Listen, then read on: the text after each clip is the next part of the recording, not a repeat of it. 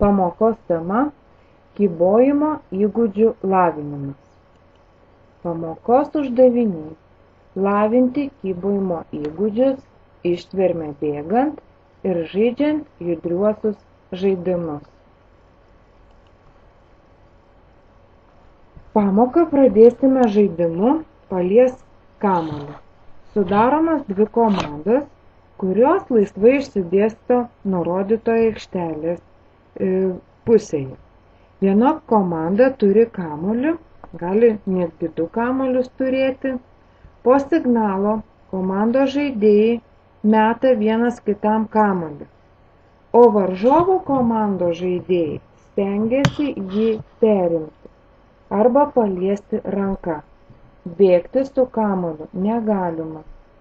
Po kurio laiko žaidėjai susikeičia vaidmenimis. Antroji užduotis. Kybojimas ant abiejų ar vienos rankos. Rankų lenkimas ir tiesimas, remiantis į sieną ar kitą atramą.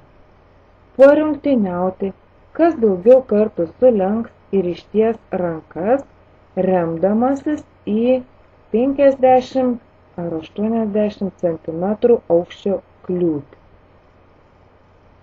Trečioji užduotis – bėgimas ištvermiai lavinti.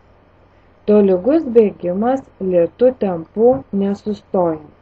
Bėgame apie 2-2,5 minutės. Bėgti geriau ne stadiono taku, o aikštelėje, vietovėje įveikiant natūrales kliūtis į kalniuką nuokalnę. Tam labai gerai tinka parkelio vieta.